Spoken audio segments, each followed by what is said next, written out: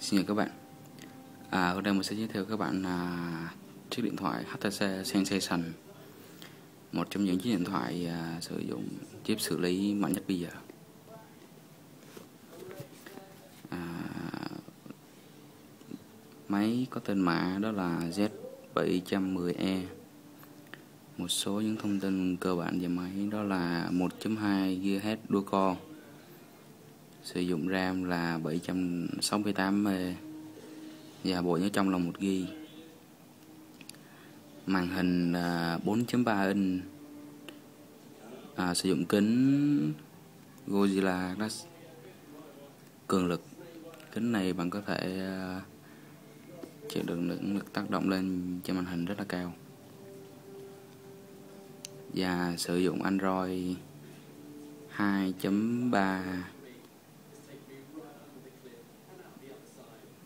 và giao diện sen là 3.0 chứ không phải à, 1.2 2.1 2.1 giống như trên HTC khác.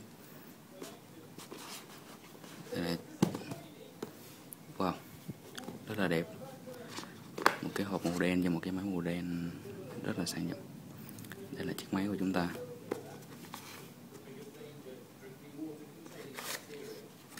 À, đây là cái siêu đây là quyển sách hướng dẫn sử dụng.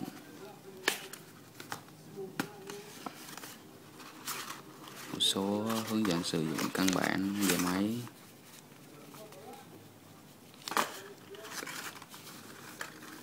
Một cái tem của máy.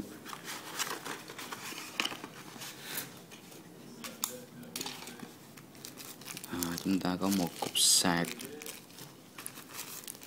một cái uh, tai nghe 3.5 một cái gì cáp USB micro USB 2.0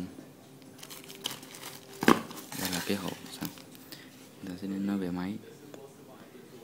Thì uh, máy hỗ trợ cái webcam đằng trước một cái loa thoại ở đây chữ HTC và mặt kiến được uh, làm uh, nó nó nó gồ lên ở phía mét để tránh khi mình úp xuống như thế này nó không bị chày mặc dù kiến này là kiến ờ, Godzilla cường lực rồi nhưng mà nó sẽ vẫn thiết kế như này để giảm thiểu độ chày mới. đây là bốn phím căn bản của H của Android đó là Home, Menu, Back và Send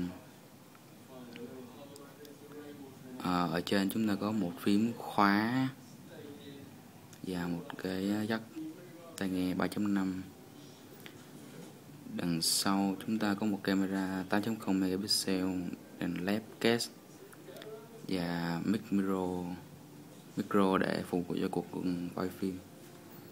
Camera này có khả năng quay phim à, HD chữ HTC được à, khắc nổ được khắc trên này màu đen khác với lại những cái HTC chữ HTC khác trên các điện thoại khác. Đó là màu bạc còn là màu đen. Dòng chữ with HTC Sen à, này được phụ một chất liệu rất là tốt có thể chống chày đến 60% ở dưới chúng ta có một cái micro phục vụ cho cuộc gọi thoại và một cái cái à, ngàm nhỏ ở đây để bật cái cái nắp ra ở cạnh phải không có gì cả. Ở cạnh trái chúng ta có một phím tăng giảm âm lượng. Và cái cổng ờ, uh, USB có một đằng sau có một cái loa. Máy này được thiết kế theo kiểu uh, unibody uh, nguyên khối. Nhưng mà theo mình nghĩ thì nó không có nguyên khối mấy. Khi bạn nhấn cái hàm ngàm này và giữ máy thì cái cái nắp sau của máy sẽ được bật ra. Đây. Đây. Thì à, khi bật ra chúng ta sẽ rút lên chút xíu. Đây là cái máy. Toàn bộ cái máy đây không có một cái vỏ ngoài bảo vệ. À, khay à, thẻ thẻ nhớ. Và khay sim ở đây pin đây. Camera. Toàn bộ là một cái thân cái cái cái cái cái, cái nội thất của máy cái khuôn máy. Không phải cái khuôn máy mà là cái à, cái bo máy được hết à, trên bàn tay mình. Còn bên ngoài máy là đây. Đây là một cái uh, vỏ mà cái đắp bao trùm hết tất cả cái máy. Khi bạn gắn máy vô thì bạn sẽ rút nhét cái đầu này vô trước.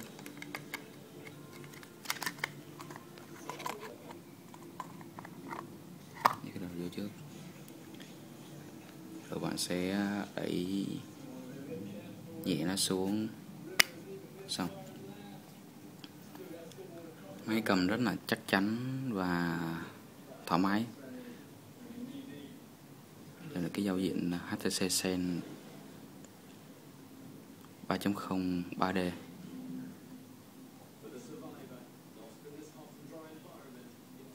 rất là đẹp. Đây là menu. Rất là nhanh.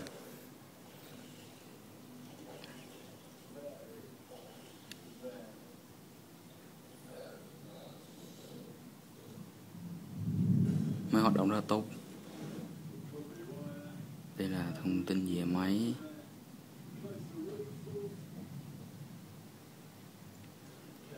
À, Android version nó là 2.3.3 mới nhất và HTC Sen version 3.0 à, cái giao diện này giống như HTC Fire nhưng mà nó là 3.0 chứ không phải là 1.2 for tablet giống như là HTC Fire. Đẹp hơn. Thành uh, à, information được sửa lại. Rất là đẹp. Đây là dung lượng RAM. Của máy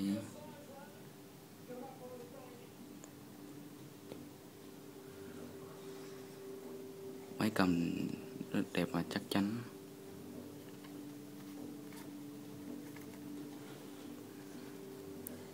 Xin cảm ơn.